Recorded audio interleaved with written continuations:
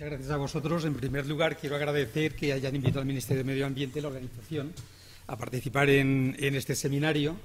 Consideramos que es de gran interés y el Ministerio verdaderamente considera que es de, gran interés el que se vaya divulgando los temas de ruido y que tengamos la oportunidad de eh, expresar cómo nosotros estamos haciendo el seguimiento de eh, la legislación que pusimos en marcha en el año 2003. ¿no? Ya han pasado 13 años. O sea, parece que fue ayer eh, que estábamos hablando de la ley del ruido, pero ya han pasado 13 años ya. Ya podemos decir algo de su, de su aplicación. ¿no? Bueno, el título de la jornada es el ruido ambiental. Eso para empezar. ¿no? El ruido ambiental, que es algo que hace en aquellos años eh, eh, empezaba a aparecer como algo, un problema, pero nadie le daba demasiada importancia, porque se, se hablaba de las molestias y tal. ¿no? Vemos que desde esa época hasta ahora el cambio ha sido tremendo. ¿no? porque en Bruselas están hablando ya de los efectos sobre la salud que está produciendo el ruido, este ruido ambiental. Y nos están haciendo evaluaciones ya, o quieren hacer evaluaciones. Vaya, hombre. Perdonad.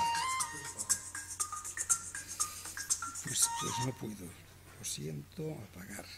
Venga. Están hablando de que hemos pasado de las molestias ya a los efectos sobre la salud que está produciendo el ruido, ¿no?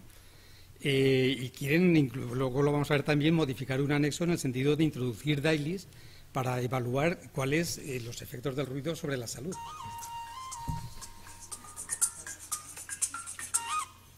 Hoy tenemos problemas técnicos.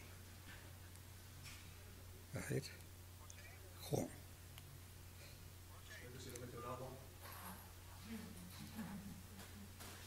Apagarlo, he apagado.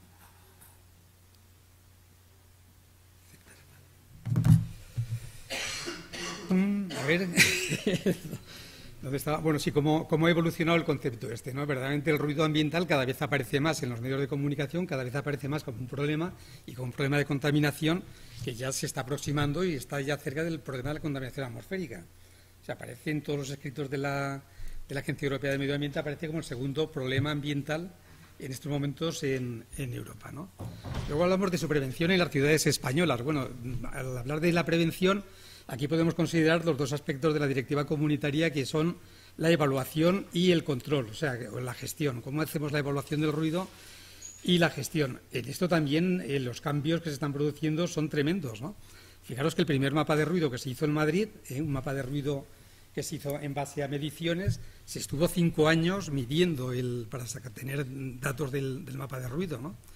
Eh, ahora con el tema de las Smart Cities mm, y todos los sensores y todos los sistemas que hay eh, de monitorado, vamos a tener mapas de ruido prácticamente de la ciudad instantáneos.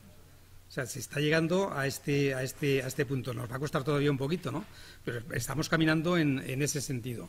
Lo cual quiere decir que, que en la velocidad de respuesta o la información que, podemos tener en cuanto a la evaluación del ruido, cuáles son mis niveles de ruido y qué medidas puedo poner yo en marcha eh, para tratar de evitarlo, eh, prevención, o para tratar de corregirlo mediante medidas de control, verdaderamente va a ser como, mucho más eh, directo. ¿no? Bueno, hay una cosa interesante también en el ruido y es quién está produciendo el ruido. Entonces, hay esta encuesta del Instituto eh, Nacional de Estadística, esta es del año 2007, donde por una parte nos dice cuáles son los focos principales de ruido que percibe el, ciudadano, puesto que es una, encuesta realizada a ciudadanos, y cuál es la importancia que dan ellos al ruido que sienten en sus viviendas, dentro de sus viviendas. ¿no? Entonces, bueno, ahí hay una gráfica que analizaremos muy detenidamente, pero no vamos a tener mucho tiempo, pero llaman la atención dos cosas, ¿no? Primero, que el, peso del, tráfico terrestre, del ruido producido por el tráfico terrestre, del 28%. Es algo que hasta ahora verdaderamente no se consideraba demasiado, no parecía que había mucha respuesta contra el ruido del tráfico, pero en las encuestas aparece como el principal. Y hay otra, otro tema que llama también bastante la atención y es que siempre en los ayuntamientos nos han dicho que las mayor, la mayor cantidad de denuncias que recibían eran debidas al ruido del ocio. El mayor número de denuncias que hacen los vecinos son el ruido del ocio. Sin embargo, cuando se hace la encuesta esta, el ruido del ocio aparece como el eh, son actividades comerciales y de ocio con, el, con un 9%. Es decir, el porcentaje de población que siente este problema del ruido del ocio no se corresponde con la mayor eh, porcentaje de denuncias que se presentan en el ayuntamiento. Y sin embargo, el tráfico terrestre aparece como eh, uno de los, de los, elementos que verdaderamente influyen en las viviendas. Luego, vemos que el 25,1% de las viviendas, eh, los residentes, han manifestado problemas de ruido. Y este ruido puede ser tanto interior, de vecinos, como el ruido procedente del exterior, el ruido, el ruido ambiental. Hay una encuesta ya realizada posteriormente, que es en el año 2011, sobre las mismas bases, y vemos que ese 25% ha bajado al 15,5%. Desde luego hay motivos para la esperanza, parece, en el tema del ruido, ¿no? O sea, el porcentaje de población que ha sentido problemas de ruido verdaderamente ha disminuido. Estos datos se corroboran con los datos que ya tenemos de los mapas estratégicos de ruido, ¿eh? que nos dicen que en la segunda fase de mapas estratégicos de ruido el porcentaje de población expuesta a determinados niveles, a niveles altos, disminuye respecto eh, a la primera fase. La primera fase se hizo en el año 2007, que corresponde con esa encuesta, y la segunda en el año 2012, que corresponde, es un año posterior a, los datos estos. Es decir, que parece que eh, algo está mejorando. Eh, habría que analizar exactamente por qué se mejora. O sea, si es debido a planes de acción, medidas correctoras que se han puesto, a la situación económica, eh, que el tráfico ha disminuido, posiblemente todo influya. Pero parece que los niveles, digamos, de, afección o de exposición a la gente están disminuyendo. Bueno, frente a esto, ¿qué, ¿qué, legislación tenemos? Pues hay una legislación básica del Estado eh, que es la ley esta 37-2003, eh, que eh, transpone una directiva comunitaria que es la de la 49-2002, es un año anterior a la ley, que la transposición prácticamente de esa directiva lo hace el Real Decreto del 1513 sobre evaluación y gestión, y esto es lo que luego vamos a ver sobre mapas estratégicos de ruido y planes de acción, y hay un Real Decreto que toca ya los temas, digamos, más concretos, que esto no es transposición de una directiva comunitaria, sino que es legislación básica española no eh, eh, comunitaria, que es el 1367, donde se establecen criterios de zonificación acústica, objetivos de calidad en base a esta zonificación acústica y estos objetivos de calidad tanto en el exterior de, edificaciones, de áreas acústicas, como en el interior de, edificaciones. Y es lo que estábamos comentando anteriormente. ¿no? Y luego establece también valores límite de emisión a los emisores. Y otra cosa muy interesante también de la ley del ruido es que establece una conexión con la edificación. O sea, no solamente la ley del ruido se centra en los emisores acústicos, eh, en los focos de emisión, sino que se centra también en los receptores. Y entonces establece determinados criterios a la, ubicación de edificaciones y condiciones de construcción de esas edificaciones desde el punto de vista acústico. Y la conexión es con el Real Decreto 1371 del 2007, que apareció el mismo, la misma fecha que el, decreto anterior. Hay una correspondencia entre los objetivos de calidad que establece uno y las condiciones de aislamiento acústico que se imponen a los edificios para que se cumpla el decreto de, objetivos de, calidad. Eh, el ámbito de aplicación de toda esta normativa básica pues son a los emisores acústicos y entonces están las actividades. Y en estas actividades entra todo lo que se describe en la propia ley como actividades. entrarían actividades más instalaciones. Es decir, si yo tengo el ruido producido por un contactor de un ascensor en el interior de una vivienda, esta legislación lo cubre.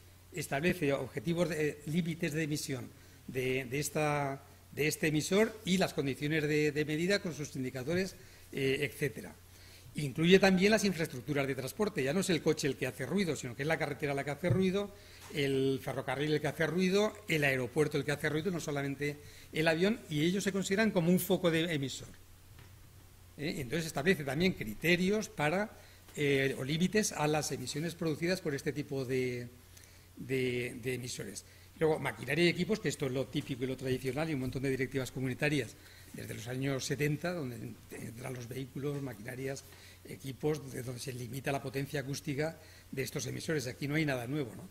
Y la ley contempla también los comportamientos de los vecinos, pero lo saca de la aplicación de la ley y lo dice que se desarrolla a través de ordenanzas municipales y son las ordenanzas municipales las que tienen que establecer los criterios, digamos, para el control del botellón o los ruidos que se producen en las terrazas, en el exterior, etcétera. se saca del, ámbito de la, ley. Y aparecen también las edificaciones en su calidad de receptor acústico con un par de artículos que dice que establece determinados condicionamientos a, la ubicación de estos edificios y las condiciones eh, de edificación. el, decreto del 1513, que es el que, el, que el, que transpone la directiva comunitaria, ¿qué es lo que nos pide? Pues que hagamos mapas estratégicos de ruido y planes de acción representados en, dos índices, que estos son índices que son europeos. Fijaros que para que los datos sean comparables en Europa de lo que estamos haciendo del ruido, lo primero que tenemos que medir es con la misma unidad. Entonces establecen los, mismos indicadores a nivel europeo, que son el LEDEN y el LN. Ahí tienen su definición, está en, eh, las normas y son unos eh, eh, indicadores que son muy definidos, que son indicadores a largo plazo y que son más bien indicadores no del ruido que se produce en un momento determinado, sino del clima sonoro que pueda haber en una determinada zona, en una determinada área. Y es, por otra parte, el objetivo de esta directiva. No se trata tanto de responder a una denuncia por un nivel de ruido alto en un momento determinado, sino de conocer cuál es el nivel de ruido en una ciudad, en un área de una ciudad, en el entorno de una, edificación, etcétera. Por eso utiliza este, este, tipo de indicadores, el LDN y el LN. Pero esto solamente se definen en el 1513 para efectos de mapas estratégicos de ruido y planes de acción. Nos dice que utilicemos métodos comunes de cálculo, como en la primera fase de aplicación de la directiva no teníamos métodos comunes, la directiva daba unos métodos eran los que se conocían como los provisionales, donde era un método francés, un método alemán, dependiendo de si estábamos hablando del tráfico o estábamos hablando de ferrocarriles, o el ACEAC para el caso de, aviones, y los Estados miembros que tenían eh, métodos comunes, como por ejemplo Alemania, Francia, Holanda, que tienen sus métodos propios de evaluación, podían eh, seguir utilizándolos. ¿Cuál es el problema? Que admitíamos que, utilizando los mismos índices, al utilizar distintos métodos de evaluación, los resultados no iban a ser comparables. Y así se ha demostrado eh, con las, tras las aplicaciones de, la directiva. Eh, dice que eh, tenemos que aplicar, que elaborar estos mapas estratégicos de ruido en donde en aglomeraciones, considerando aglomeraciones aquellas ciudades mayores de 100.000 habitantes, a los grandes ejes viarios que se definen por el tráfico, grandes ejes ferroviarios que se definen también y los grandes aeropuertos. Una vez que hemos elaborado los mapas estratégicos de ruido, que lo que me van a dar es la fotografía de cuál es la situación en el momento en que estoy haciendo el mapa de ruido, lo que tengo que hacer es elaborar unos planes de acción en base a los resultados de los mapas de ruido. Nosotros lo que decimos es que como tenemos mapas de ruido, situación, tenemos zonificación acústica y tenemos objetivos de calidad, si al mapa de ruido superponemos la zonificación y los objetivos de calidad, nos da la zonas de incumplimiento. Y en esas zonas de incumplimiento es donde deberíamos aplicar planes de acción correctivos, independientemente de aquellas zonas que nos interesa proteger y que pongamos planes de acción eh, preventivos, aunque no se superen los objetivos de calidad. De todas formas, la directiva, el objetivo que tiene básicamente es poner en marcha planes de acción correctivos en aquellas zonas donde se superan unos criterios. Estos planes de acción hay que elaborarlos un año después del, mapa de, ruido. Y luego, una cosa también muy importante es que toda esta información que se está generando hay que ponerla a disposición de la Comisión por una parte y del público en general. Es decir, el público tiene que tener información de cuál es la situación acústica en cada momento en las zonas donde se están haciendo estos mapas de ruido. Bueno, el, Real Decreto del 1367, que es el que va más allá de la transposición de la directiva, establece nuevos índices acústicos. Dentro de estos nuevos índices acústicos nos dice cómo se tiene que medir el ruido de instalaciones con las correcciones adecuadas por componentes tonales, eh, componentes impulsivas y, bajas frecuencias. Es decir, que no mido solamente el nivel continuo equivalente, mido el nivel continuo equivalente y lo corrijo en función del tipo de ruido, lo que nos planteaban antes, ¿no? Un silbido, un silbido no es un tipo de ruido que se debe de medir con el, con el nivel continuo eh, equivalente, sino que posiblemente requiera de una corrección.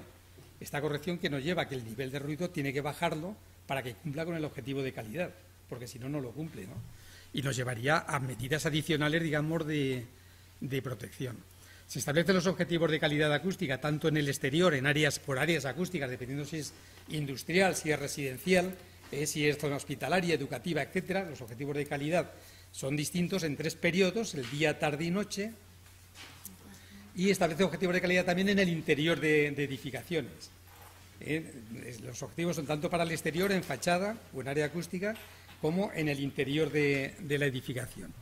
Se establecen unos criterios de zonificación acústica para establecer los distintos objetivos de, calidad y se establecen límites a los emisores acústicos. Y aquí los límites son distintos en función si estemos hablando de infraestructuras o estemos hablando de, actividades.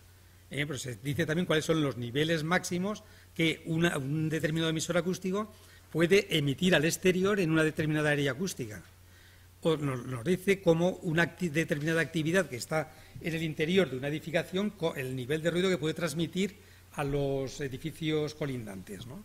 establece unos valores límite y establece nuevos procedimientos de evaluación, dice cómo se tienen que hacer estas, estas, eh, estas evaluaciones, en qué condiciones. ¿no? En estos eh, nuevos procedimientos de evaluación es la pregunta que se planteaba antes, donde hay lagunas, y habrá lagunas siempre. Y aquí muchas veces, claro, el ruido eh, hay que dejar, un, dependiendo de las características del ruido que se está emitiendo en ese momento, hay que dejar un cierto margen para que tome decisiones el que está haciendo la evaluación. Y esto nos lleva a que, claro, el que está haciendo la evaluación debe saber lo que es el ruido, lo que está midiendo y cómo lo está midiendo. Y esto lo que nos lleva es que no se trata solamente de utilizar un sonómetro por alguien que dice cómo ve un numerito, apunto un numerito y ya está, sino que lleva bastante más ¿no? En la evaluación del ruido. Por eso es que es muy difícil que vía normativa lleguemos hasta las últimas consecuencias y que nosotros como legislación básica lo tuvimos que dejar en un, en un punto ¿no? y a partir de allí, digamos, eh, que sean comunidades autónomas o que sean los ayuntamientos los que puedan eh, avanzar más allá, siempre cumpliendo la legislación básica. Esto es muy importante.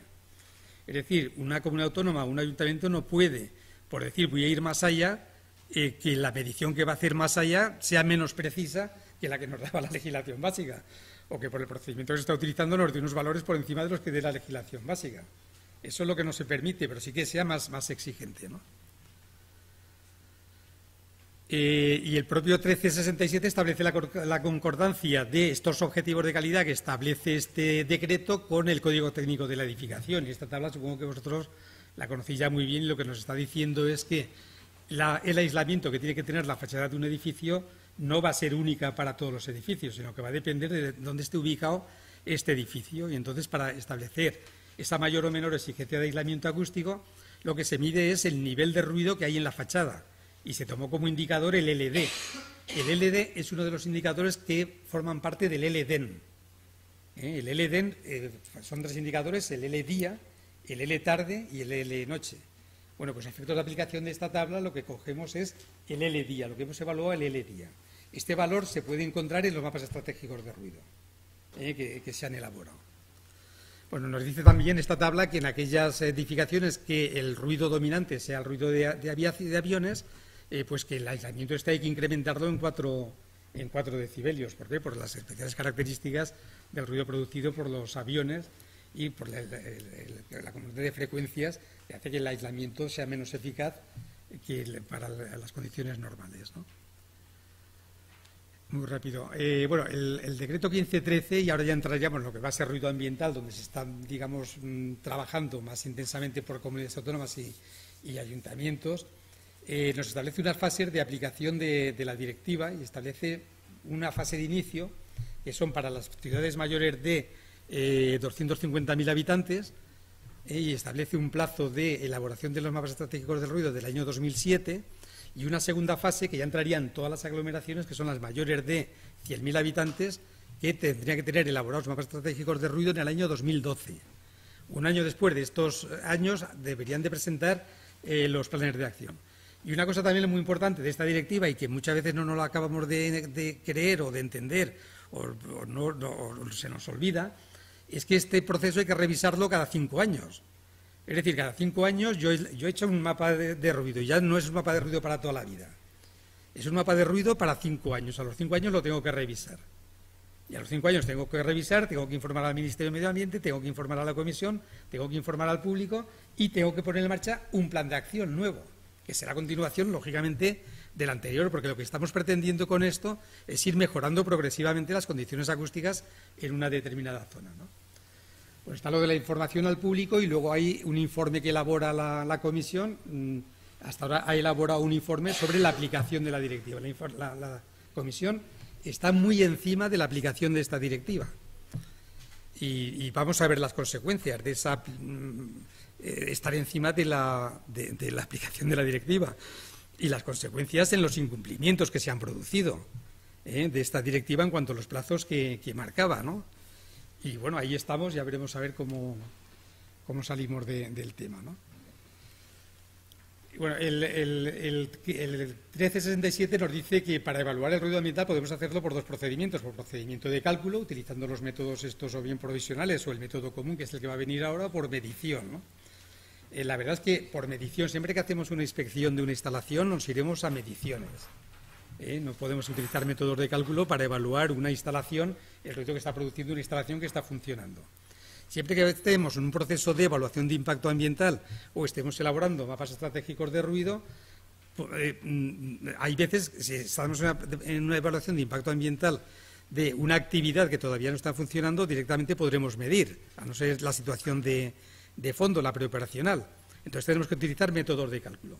Y en los mapas de ruido, que son situación actual, en condiciones actuales, podríamos utilizar los dos procedimientos. Hasta ahora se ha decantado la mayoría de la gente, pocos son los que han hecho mapas estratégicos de ruido en ciudades por el procedimiento de medición. Esto puede cambiar. ¿eh? Y lo que se ha, utilizado es el procedimiento de cálculo. ¿Por qué ha cambiado? Porque el procedimiento de cuadricular una ciudad y meter sensores, ir midiendo en este, es un proceso lento, caro y muchas veces no muy representativo de lo que es el ruido en la ciudad. ¿Eh? y aquí se piensa que el procedimiento de cálculo puede ser como más representativo. ¿eh? Esto puede cambiar si a través de los smart cities y a través de esta revolución que hay ahora con los big data y tal, empezamos a meter sensores por todos los lados y tenemos datos muy fiables, primero que sean muy fiables, que no sea el dato que da, ¿eh? que la tendencia es esta, un, teléfono móvil o un sensor parecido a este, sino que tiene que ser un sensor que cumpla unas determinadas características, que sea del tipo 1, eso es la, base para que el dato sea representativo y cuando tengamos muchas mediciones, pues mira, podremos tener mapas en tiempo real. En algunas ciudades ya lo están ensayando, o sea, esto ya no es ciencia ficción. O sea, esto ya, esto ya lo tenemos, ¿no? Y a un coste que parece que no, que no es excesivo. De todas formas, lo más probable es que coexistan los dos procedimientos. ¿eh? Pero para cumplir con la directiva comunitaria, la mayor parte de las ciudades se han ido a procedimientos de cálculo, ¿no? Bueno, esto es lo que nos da un mapa de ruido de una ciudad. Eh, vemos que no solamente nos da una ciudad con unos colorines, que estos colorines van a representar distintas bandas de, niveles de, ruido, sino que nos da también información sobre la población expuesta a estos distintos niveles de ruido. Es decir, no solamente da datos de eh, la, gráfica, sino que nos da información de población expuesta a los distintos niveles de ruido en esta ciudad el número de edificios que están sometidos a distintos niveles de ruido, el número de colegios, el número de hospitales, eh, etcétera. ¿no? Eh, solamente se hace el mapa de ruido para las aglomeraciones, como hemos visto, sino también en el, entorno de las grandes infraestructuras, tanto viarias como ferroviarias como aeropuertos. ¿no? Pues los mapas de ruido que aparecen son de, este, de este tipo y nos dan el mismo tipo de información, o sea, sobre personas expuestas, número de viviendas, número de colegios, etcétera. Eh, como toda esta información que se está generando tenemos que informar al público, pues el Ministerio de Medio Ambiente tiene un sistema básico de información sobre contaminación acústica que es el SICA. Entonces aquí se puede acceder en estas consultas, bueno, en una portada explica lo que son los mapas de ruido. podemos hacer una consulta de mapas, ya tenemos la primera fase que terminó en el año 2007 con todos los que se elaboraron en España, digamos que la primera fase fuimos cumplidores y prácticamente se hicieron en el, en el 100% de las aglomeraciones que correspondían eran 19 y en un porcentaje muy elevado, por encima del 94-95% en cuanto a infraestructuras. La segunda fase, que ha terminado en el año 2012, y ya incluía a 60 eh, aglomeraciones, ya no eran 19, sino 60 aglomeraciones, se incrementaba el número de, kilómetros de carreteras, de ferrocarriles, el número de puertos se incrementaban dos, y aquí digamos que estamos eh, con retraso. Vamos a decir que no se han cumplido todos los mapas de la directiva, se ha cumplido el plazo y todavía hay algunas aglomeraciones, algunas infraestructuras que no tienen hechos los mapas de ruido y donde más se está fallando es en el tema de los planes de acción, lo que hay que poner en marcha un año después de elaborar el mapa de ruido. Aquí en esta página podéis ver también todas las comunicaciones que hacemos a la Unión Europea. La Unión Europea inicialmente solamente le dábamos información en una hoja Excel de la población eh, que estaba sometida a los distintos niveles de ruido, el número de viviendas, el número de colegios, etcétera. Era una, hoja Excel. Esto ahora se está complicando más y ya nos están pidiendo información georreferenciada de las infraestructuras, de las isófonas, etcétera, etcétera, etcétera. Es decir, para que tengamos información gráfica, que la directiva no lo pide.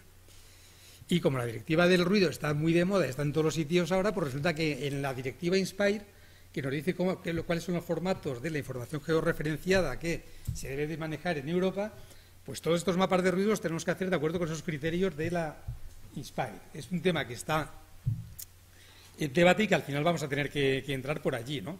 Pero que veis que ya nosotros ya hemos, en las últimas comunicaciones, ya hemos enviado información y lo podréis ver en esta página georreferenciada, es decir, que lo podéis bajar en un GIS y vais a ver las isófonas, vais a ver los trazados de las, de las carreteras, las delimitaciones de las aglomeraciones en, el GIS. Eh, aportamos la documentación que se va generando y elaboramos una jornada todos los años para ver la puesta, cuál es el avance, la situación de la puesta en práctica de la directiva. Y el mes que viene va a tener lugar en el CEDES, todavía no tenemos decidido el día, pero el mes que viene aparecerá aquí una jornada eh, para, decir cómo está funcionando la directiva y cuáles son los, nuevos pasos. Bueno, estos son unas instrucciones, porque claro, como los formatos, eh, la información que recibe el la información que elaboran los ayuntamientos, el Ministerio de Fomento de las distintas comunidades autónomas sobre mapas de ruido, nos los mandan al Ministerio de Medio Ambiente y el Ministerio de Medio Ambiente lo comunica a la Comisión. Para que esta, digamos, traspaso de información sea eh, rápida y, sea eficaz, pues tenemos que mandarla de acuerdo con unos formatos. Unos formatos que además hacen unos chequeos de calidad de la información que se está, que se está enviando. Y si no tenemos en esos formatos, ¿qué pasa? Que la comisión lo rechaza. ¿no? Bueno, pues todos los años mm, hacemos unas instrucciones para las distintas fases de cómo queremos que se envíe la información, en qué formatos se envían. Esto se publica en, el, en SICA y este año, por ejemplo, la última que tenemos es de abril del año 2015, que son las instrucciones para cómo se deben de entregar los mapas de ruido y planes de acción en la tercera fase que termina a finales del año 2017. Bueno, esta es la, dirección a, la que se puede acceder y bueno, esto yo creo que, no sé cómo voy de, tiempo, bueno, todavía tengo un poquito. Eh, aquí lo que vais a ver es eh, cuál es la situación en que, nos encontramos, ¿no? o sea, en la aplicación de la directiva. Fijaros que 60 aglomeraciones tenían que hacer eh, mapas de ruido en la segunda fase, son 18,8 millones de personas, el 41% de la población, ¿no? 19.000, casi 20.000 kilómetros de carreteras, más de 1.500 kilómetros de ferrocarril y 12 aeropuertos. Es decir, el trabajo verdaderamente es importante. Esto no es una cosa que se hace eh, no, es empezar hoy y dices mañana ya lo tengo aquí, ya tengo los mis mapitas y tengo todo, ¿no? Y encima con el problema de que cada aglomeración elabora su mapa de ruido. Con lo cual los criterios que se pueden utilizar a la hora de elaboración de esos mapas de ruido pues pueden ser eh, bastante diferentes, aunque luego el, resultado final queremos que se presente de acuerdo con esos formatos y parece que se está consiguiendo. Eh, pero las comunidades autónomas muchas veces tienen que contactar con los ayuntamientos para ver eh, las carreteras muchas veces pasan por las aglomeraciones y hace falta el mapa de carreteras que elabora el Ministerio de Fomento, la comunidad autónoma o el ayuntamiento para que aplicarlos en el mapa de ruido del ayuntamiento. Es decir, esto requiere una coordinación importante por parte de las administraciones. Esto, digamos que es mejorable. En cuanto, digamos, con los resultados que tenemos en cuanto a la aplicación, eh, es algo que es bastante mejorable, ¿no? Y que por ahí hay que, eh, hay que, hay que trabajar. Bueno, estas son las ciudades que elaboraron mapas de ruido en la primera fase, veis que están todos verdes. Eh, en la segunda fase, en el año 2012, tenían que hacer la revisión, puesto que esto ya lo tenían, lo que tienen que hacer la revisión. Los que tienen el circulito rojo todavía no han hecho la revisión. ¿Eh? Veis que hay unos cuantos que todavía les falta la, revisión. Estos son las aglomeraciones de la, de la segunda fase, los verdes son los que ya lo han presentado, el mapa estratégico de ruido, y en el rojo veis que todavía quedan allí bastantes rojos que todavía no tienen el, eh, mapa. ¿no? Bueno, el resultado ha sido que de las 60 aglomeraciones, 41, 12 de la primera fase más 29 de la segunda, han elaborado ya los mapas de ruido y nos quedan el resto. ¿no? De los 19.900 kilómetros se han elaborado de 15.000. Están separados por el Estado, las eh, autopistas de, peaje y comunidades autónomas. De ferrocarril, está muy mal la segunda fase porque de los 1.600 solamente se han presentado 190. Aquí el que está fallando es el Ministerio de Fomento de Ferrocarriles, que, va muy retrasado. ¿no?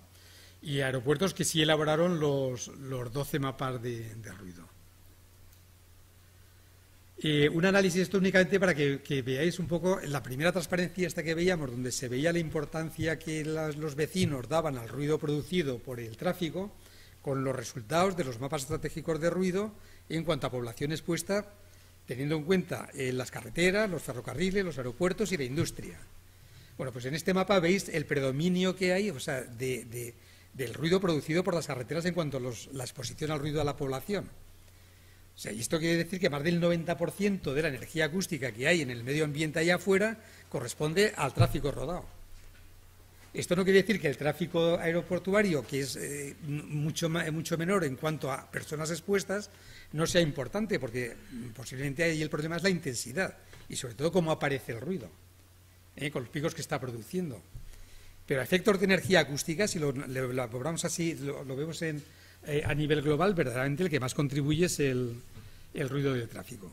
Aquí afortunadamente tenemos la solución la solución ya sabéis cuál es, es el coche eléctrico, los coches híbridos, que prácticamente eliminan el ruido, excepto el de rodadura, pero disminuye eh, mucho el ruido, el ruido mecánico. El problema que tenemos es que es tan silencioso que ahora están discutiendo a ver cómo se le aplica ruido a los coches silenciosos, ¿no? Con lo cual, esta es la contradicción que siempre estamos en el medio ambiente. Es decir, que por un sitio vamos avanzando y por otros sitios siempre aparecen ahí como chinas que hay que, hay que tratar de, superar, ¿no? Bueno, hay una cosa importante en, la aplicación de la, directiva y es la importancia que da eh, el, ruido, cómo se debe de integrar el ruido en todo lo que es la planificación eh, eh, urbanística. En los planes de acción, lo primero que aparece en la propia directiva comunitaria es la ordenación del territorio y la planificación territorial, o sea, la planificación territorial como elemento básico si queremos controlar el ruido. O sea, si queremos actuar en prevención, tenemos que actuar ahí. Si no actuamos ahí ya tendremos un problema y tenemos que ir a medidas correctoras que no nos van a solucionar nada. Medidas que se pueden contener en los planes de acción estos que nos pide la, Comisión, pues eh, ordenación territorial, regulación del tráfico, aplicación de medidas técnicas, es decir, el catálogo. ¿Cuál es el problema? Que muchas veces cuando hacemos un plan de acción para una ciudad pensamos que es elaborar un catálogo de medidas. Y un plan de acción no es un catálogo de medidas es un catálogo de acciones que vamos a desarrollar en el, en el plazo de cinco años.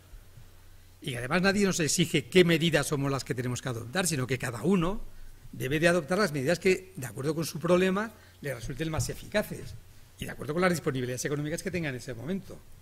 Esto nos ha entendido tampoco muy bien y muchas veces nos vamos más en los planes de acción que podéis ver en el SIGA, veréis que se trata más, excepto alguna excepción, de aplicación de un catálogo de medidas, que todos sabemos cuáles son las medidas que hay que aplicar para reducir el ruido, más que un plan de acción concreto para una determinada eh, aglomeración, una determinada infraestructura, etcétera, ¿no? Pues eso, la reducción del tal y, y este. Bueno, la planificación territorial y urbanística aparece en la legislación española de una forma mm, importante, es decir, eh, la ley del ruido considera que la integración del ruido en todos los aspectos de planificación es fundamental, ¿no? el tener en cuenta planificación acústica. Fijaros que aparecen en preceptos 1, 2, 3, 4, 5, 6 de la ley del ruido, ¿eh? donde hay una exigencia de tener en cuenta el ruido en la planificación territorial urbanística, en la zonificación acústica se incorporará en la planificación territorial, la delimitación territorial áreas acústicas y su clasificación se basará en usos actuales y previstos del suelo, cómo las zonas de servidumbre acústica se tienen que tener en cuenta en los nuevos desarrollos urbanísticos, planeamiento territorial vigente. Deberá, aquí hay una, previsión que daba un plazo, que el planeamiento territorial deberá adaptarse a las previsiones de la ley en un plazo de cinco años. Y esto es todo el planeamiento territorial. Y que los ayuntamientos deberán adaptar la ley a la ley, las ordenanzas y el planeamiento urbanístico. Y daba también un plazo. Bueno, ahí, después de la experiencia que se tiene con los planes de acción, los ayuntamientos han llegado a la conclusión, y parece que ya de antemano se podía saber, que los planes de acción contra el ruido han de ser planes coordinados con otros programas normalmente municipales. ¿no? Y ahí está la importancia de los pactos y convenios de colaboración institucional, como por ejemplo que hemos visto entre un ayuntamiento que está elaborando su mapa estratégico de ruido con el Ministerio de Fomento, que está elaborando un mapa de carreteras que pasa por el centro de su, ciudad. ¿no? O sea, no se trata de elaborar dos mapas de la carretera, uno por parte del ayuntamiento y otro del, de, fomento del Estado, ¿no? sino que verdaderamente esa coordinación es muy importante para que, digamos, eh, ser eficaces en la, en la acción. El planeamiento urbanístico, pues esto está, es clarísimo. O sea, todo planeamiento urbanístico debe de tener en cuenta un estudio acústico de cuáles van a ser las repercusiones de ese planeamiento acústico y poner en marcha ya las medidas preventivas. ¿no? Toda la estrategia local de sostenibilidad, donde aparecen otros contaminantes, por ejemplo, mm, como muchas veces la contaminación atmosférica y la contaminación acústica van acompañadas. Otras veces no, otras veces son, son contraproducentes. Entonces, todo eso hay que identificarlo a la hora de elaborar estos planes para ver que unos no sean contradictorios o, aplicar las sinergias de unos contra, sobre otros. Y, por ejemplo, el, tema de la movilidad sostenible. Es evidente que si el ruido que producen los vehículos automóviles es el principal, que es fuente de, energía acústica en las ciudades, estos planes de movilidad deberían de contemplar el ruido de una forma importante o al revés. Bueno, estos son los planes que hay en la segunda fase. Veis que de las 60 ciudades que deberían presentarlo, pues se han presentado estos. Podéis consultarlos eh, aquí en la, en la, página web, en aglomeraciones, planes de la, de la segunda fase. Veis que todavía faltan bastantes. Y ya para terminar, pues eh, lo que nosotros estamos trabajando muy en base a las previsiones que tiene la Comisión Europea en cuanto al desarrollo de la legislación del ruido. ¿no? Entonces, actuaciones que se han llevado adelante en cuanto al desarrollo de la legislación sobre el ruido, pues la Directiva 2015-996, que por la que se establecen nuevos métodos comunes de evaluación. Quiere decir que en esta fase que se está elaborando ahora vamos a aplicar los métodos provisionales, pero en la siguiente fase, que será la después del año 2017, habrá que aplicar ya la metodología, la NOXOS, que es la que establece esta directiva. Imaginaos que estamos ahora con el... El otro día estuve en una reunión en Bruselas que están con el problema de ver este software que se está desarrollando, cómo se certifica el software. Porque claro, es una nueva metodología, pero esta metodología hay que, tiene que tener una calidad, porque además se le establece unos márgenes ahí de, error y tal, ¿no? Entonces, ¿cómo se establece todo esto? Los test, cómo hay que comprobar el software a través de unos test para que cumpla con las especificaciones, etcétera, ¿no? Todo esto se está desarrollando ahora. Esta directiva tiene que estar traspuesta en diciembre del año 2018. Es decir, que se aplicaría ya en los mapas después del 2018. Eh, hace no mucho tiempo, tres o cuatro meses, eh, la Comisión nos eh, sorprendió con un borrador de directiva sobre métodos de evaluación de los efectos dañinos del ruido. Es el tercer anexo de la directiva, donde ahora quedaba una cosa totalmente difuminada, no se veía muy bien cuál era la relación entre los niveles de ruido y los daños que producía. Y siempre este, este avance, digamos, se había establecido en las curvas estas donde por una parte aparecen los niveles de ruido y por otra parte el porcentaje de población es mm, eh, eh, molesta o altamente molesta. Y pensábamos que se iba a desarrollar por ahí este, este tercer anexo, ¿no?